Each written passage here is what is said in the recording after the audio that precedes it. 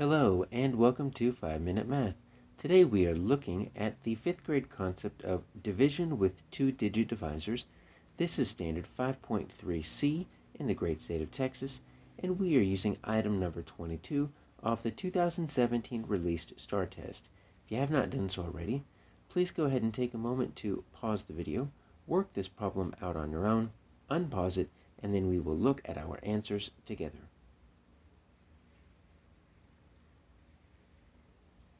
So we have a school auditorium. There are 33 seats in each row, so that lets us know we have equal groups. That's either multiplication or division.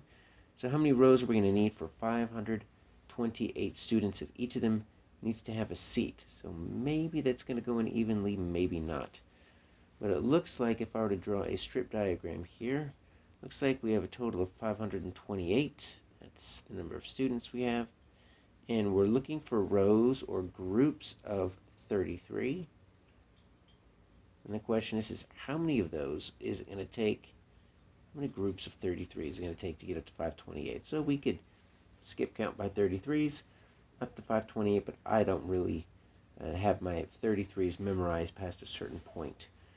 This is going to be a division problem. We are going to divide 33 into 528. So it's going to be regular division, except as we can see here, we have a two-digit divisor. So that's going to make things a little bit trickier. So one way to do that is um, I would recommend maybe just writing out your 33s. If not, you're going to have to be figuring them out anyways, but this is going to kind of help us so we don't have to do much estimation. So let's see, 1 times 33 is 33, so if I were to double that, 2 times 33, that is going to equal 66. 3 times 33, that's going to equal 99. Let's see, 4 times 33, let's see, 99 is almost 100. So 100 plus 33 would be 133. So take one away because 199 is one less. That's going to be 132. So 5 times 33. That's going to get me 165.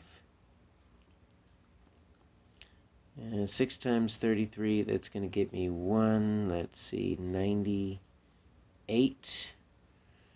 That might be enough. Let's stop there. If we need to extend that, we can extend that. So 33 does not go into 5, but 33 does go into 52. And as you can see, it's only going to go once. Right? Because 1 times 33 is going to make 33. 2 times 33 is 66. That's bigger than 52. We're ignoring that 8 right now. So that's going to be 33. So that is going to be 4. Let's see. That's going to be 9. 198. Well, look at that. It looks like that's exactly what we need. So 33 goes into 198 six times. 6 times 33 should be 198, so it's exact. It should be 16. Seems too good to be true. Let's double check that. Remember, the inverse operation of division is multiplication. So you can always multiply here and let's do 33 times 16 that should get us back to 528 so let's see. 6 times 3 is 18 so carry the 1 6 times 3 is 18 add that one back in. You got 198 and there's your 198 right there. That makes sense. And then I've got a 3 and a 3 for the second row. So I've got 8. Let's see, that's going to be 2. Yeah, there you go. 528. So my answer is 16, but I don't have A, B, C, or D, so I could do all of this and still get it wrong if I don't know how to bubble it in. So your bubble chart is going to look something like this.